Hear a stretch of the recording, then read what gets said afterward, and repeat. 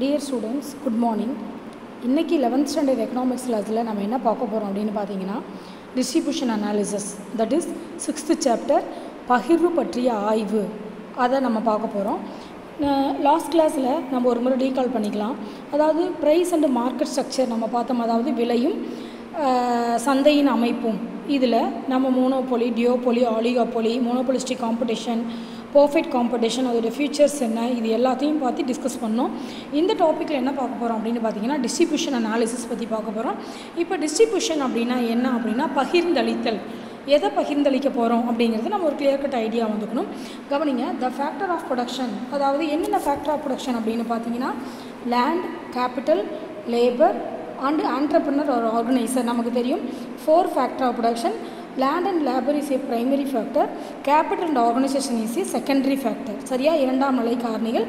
லேண்டையும் லேபரையும் நம்ம ஏன் பிரைமரி ஃபேக்டர்னு சொல்கிறோம் அப்படின்னா this is gift of nature இயற்கையின் கொடை. அதனால் லேண்டும் லேபரும் primary factor capital and organisation made by man அதாவது மனிதனால் உருவாக்கப்பட்டது.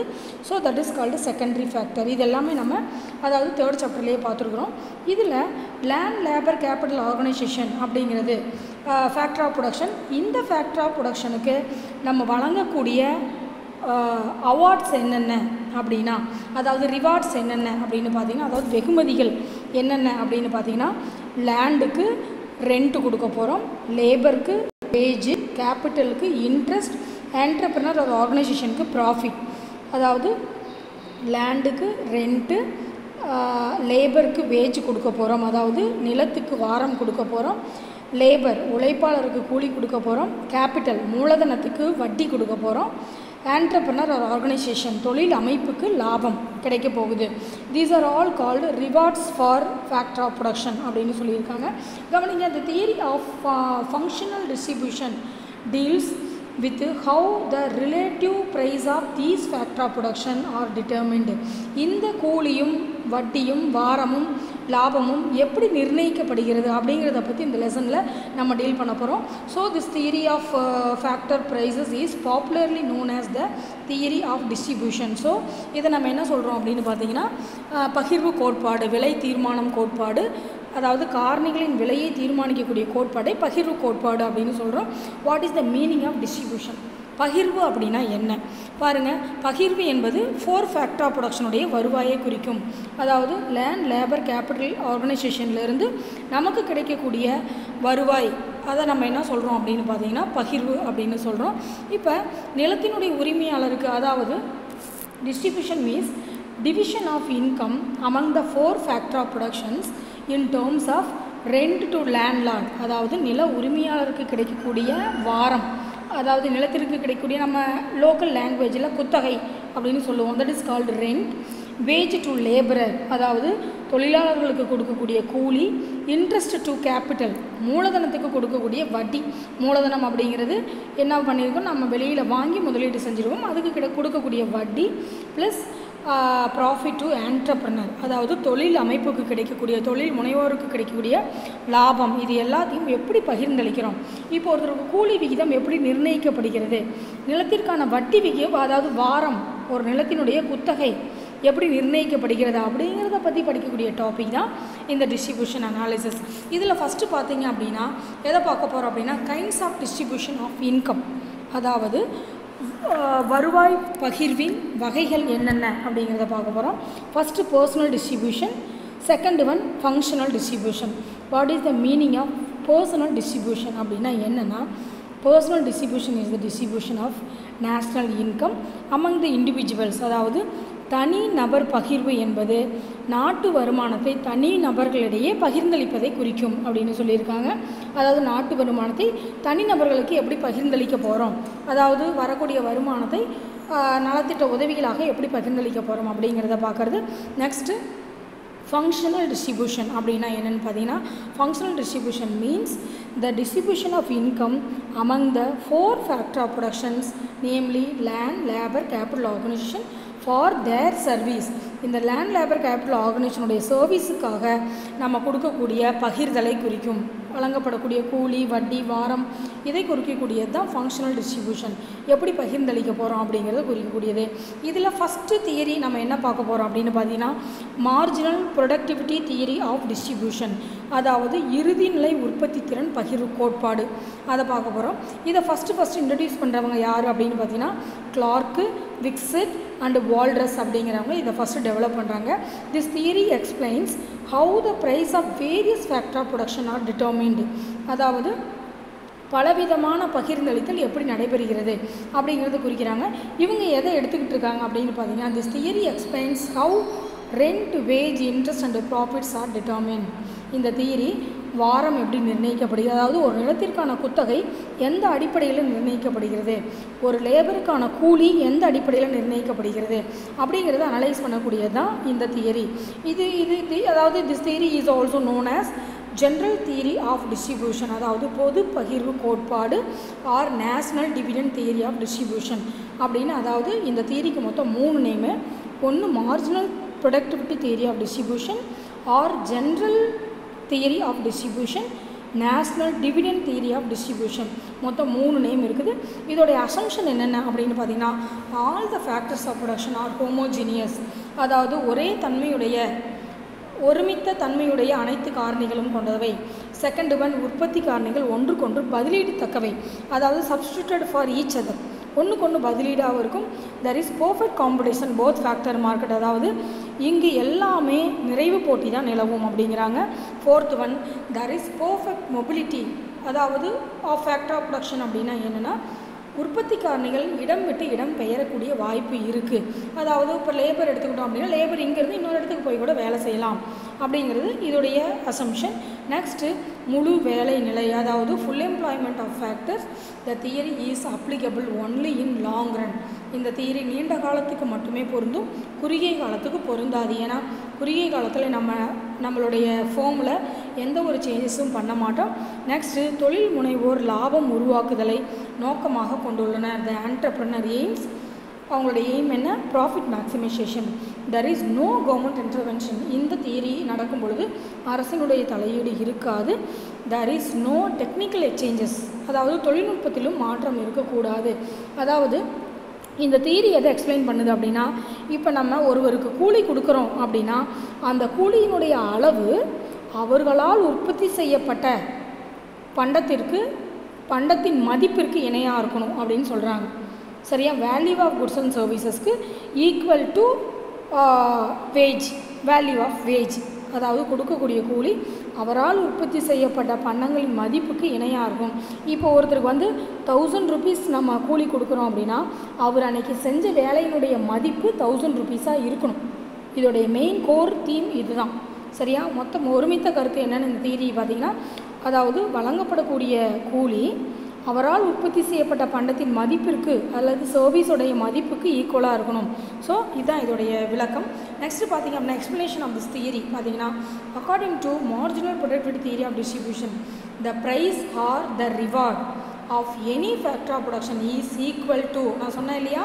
ஈக்குவல் டு அதாவது reward for any factor of production is equal to marginal productivity of that factor அதனால் உற்பத்தி செய்யப்பட்ட இறுதிநிலை பொருளுக்கு சமமாக இருக்கணும் அப்படிங்கிறாங்க. இதில் என்னென்ன ப்ராடக்ட் இருக்குது அப்படின்னா வந்து ஃபஸ்ட்டு மார்ஜினல் ப்ராடக்ட் அப்படின்னா என்ன?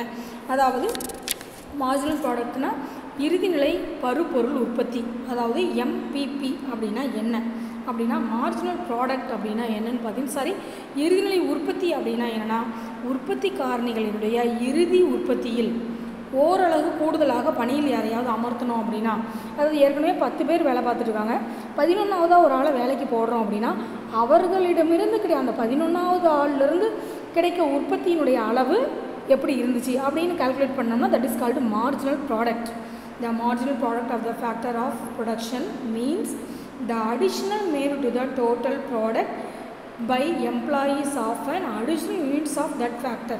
That is called marginal product இது எப்படி எக்ஸ்பிரஸ் பண்ணலாம் அப்படின்னா MPP marginal physical product VMP value of marginal product next MRP அதாவது மார்ஜினல் ரெவென்யூ ப்ராடக்ட் அப்படின்னு நம்ம எக்ஸ்பிளைன் பண்ணுறோம் இதில் first one marginal physical product அப்படின்னா என்ன? அப்படின்னு பார்த்தீங்கன்னா the marginal physical product of the factor is the increment to the total product obtained by the employment of an additional units of factor அதாவது இறுதிநிலை பருப்பொருள் உற்பத்தி அப்படின்னா என்னென்னா அதாவது மார்ஜினல் ஃபிசிக்கல் ப்ராடக்ட் இறுதிநிலை பருப்பொருள் உற்பத்தி அப்படின்னா என்னென்னா ஓரளவு கூடுதல் காரணியை பணியில் அமர்த்துவதால் அந்த பதினொன்றாவதாக ஒரு ஆளை வேலையில் சேர்த்தோம் பார்த்தீங்களா? பணியில் அமர்த்துவதால் மொத்த உற்பத்தியில் பெரும் உயர்வு. பத்து பேர் இருபது பேக்கெட் உற்பத்தி பண்ணிகிட்டு இருந்தாங்க.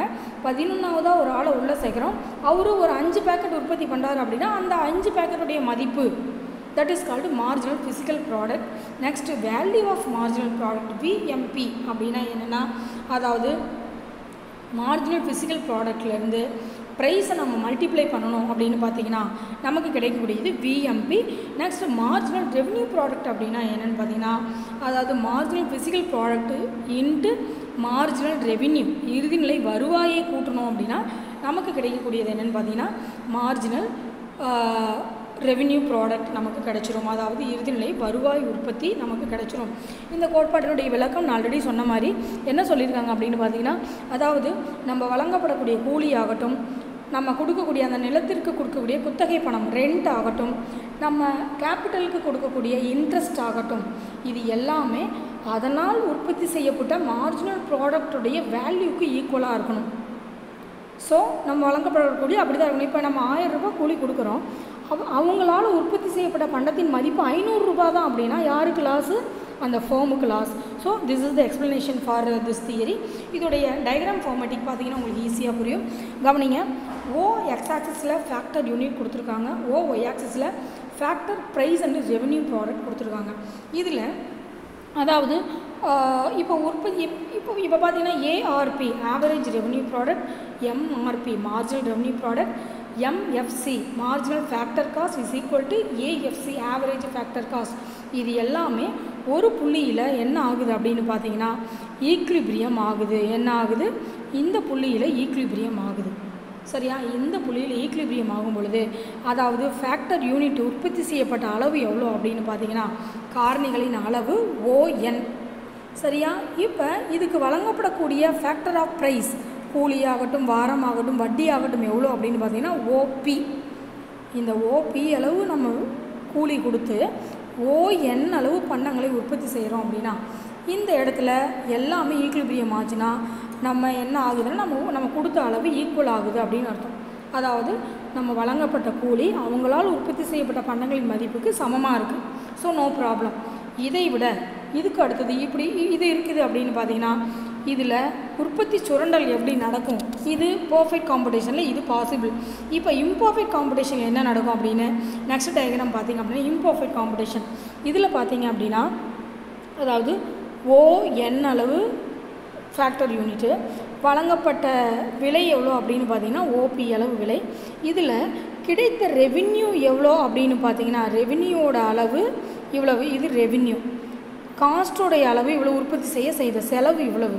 ஈக்குலிபிரியம் இங்கே ஈக்குலிபிரியம் ஆகுது இதில் இந்த ஷேடட் ஏரியா எதை குறிக்கும் அப்படின்னு படித்து பார்த்தீங்க அப்படின்னா ஷேடட் ஏரியா உழைப்பு சுரண்டலை குறிக்கும். அதாவது நம்ம கொடுக்கப்பட்ட அதாவது கொடுத்த கூலியை விட அவங்களுடைய உழைப்பு அதிகமாக இருக்குது அவங்களால் உற்பத்தி செய்யப்பட்ட பண்டங்களின் மதிப்பு அதிகமாக இருக்குது அதிகமாக இருக்கிறதுனால தான் வருமானம் இவ்வளோ கிடச்சிருக்கு.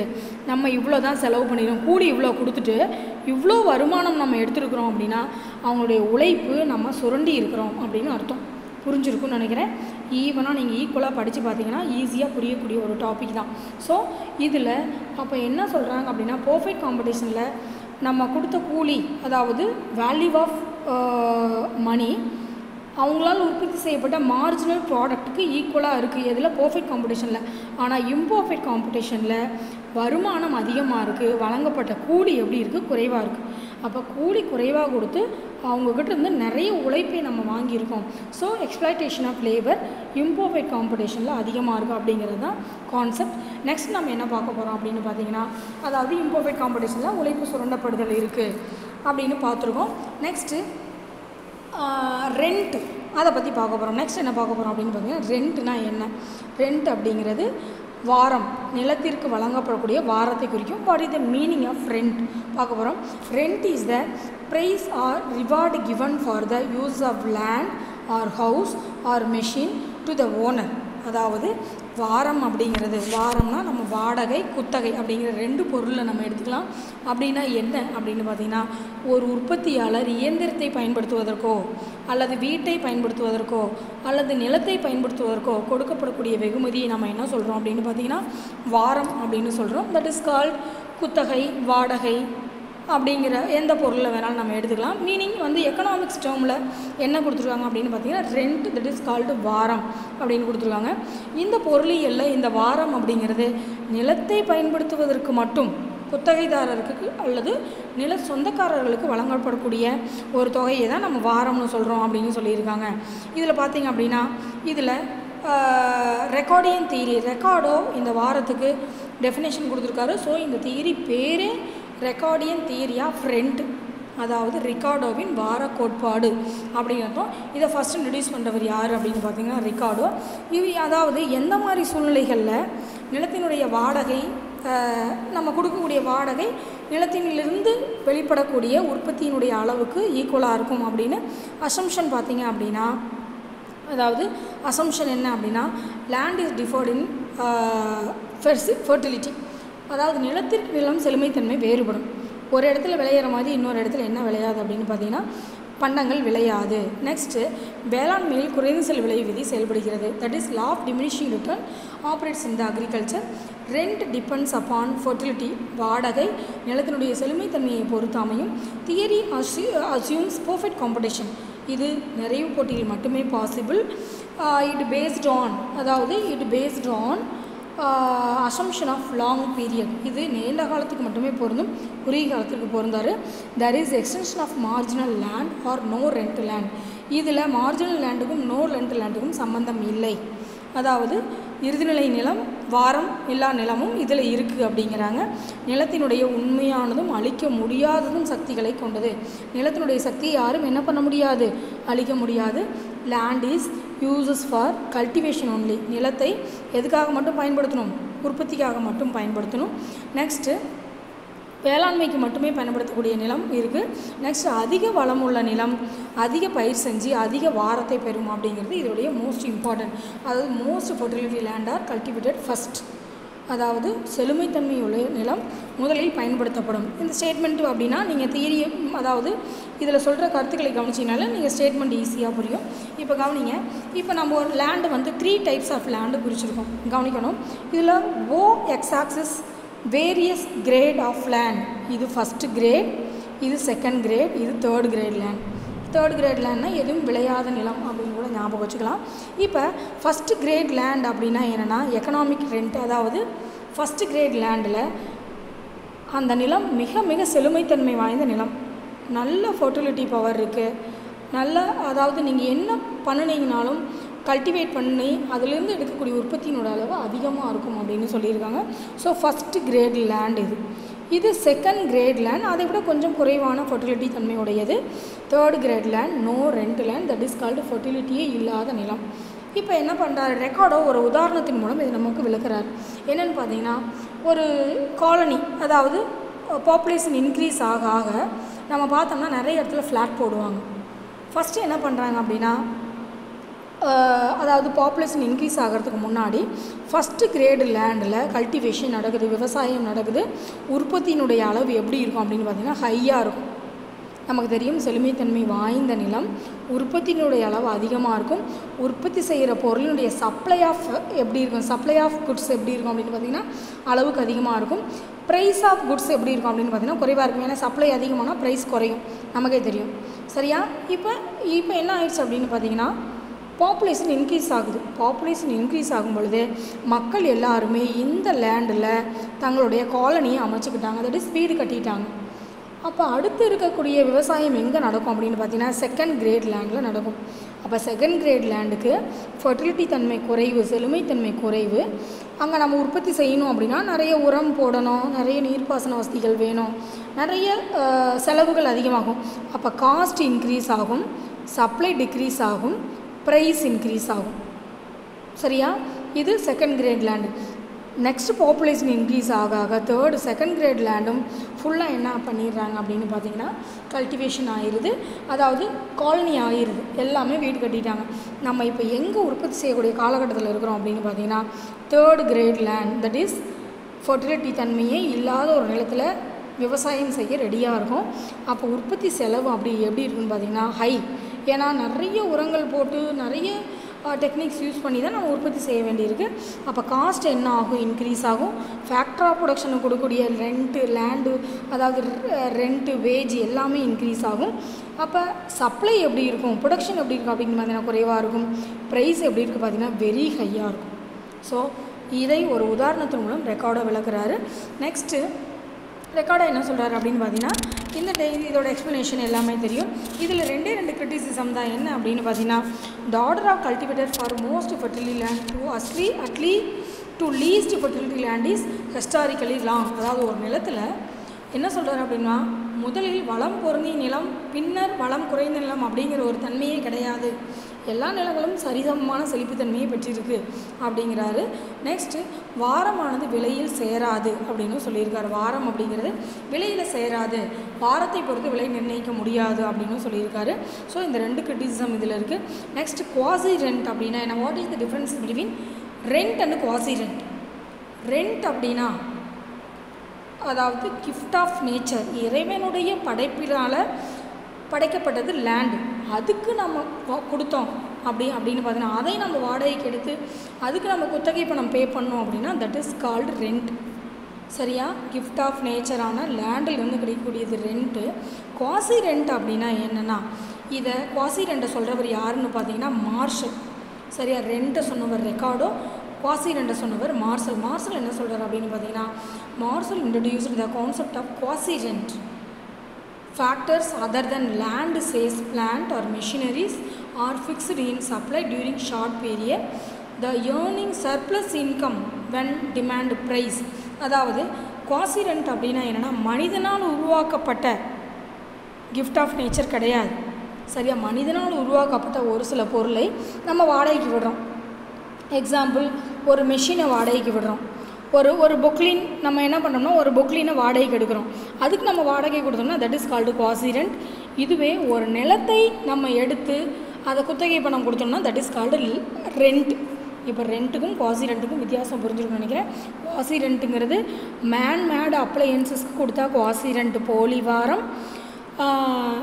லேண்டுக்கு கொடுத்தோம் அப்படின்னா ஒன்லி ஃபார் லேண்டு கொடுத்தோம் அப்படின்னா தட் இஸ் கால்டு ரெண்ட் இதை சொன்னவர் லேண்டோட லேண்டுக்கு ரெண்ட்டுன்னு சொன்னவர் ரெக்கார்டும் காசி ரெண்ட் அதாவது மேன்மேடு அப்ளையன்சஸ்க்கு கொடுக்கறது காசி ரெண்ட் அதாவது போலி வார கோட்பாடு சொன்னவர் யார் அப்படின்னு பார்த்தீங்கன்னா மார்ஷல்.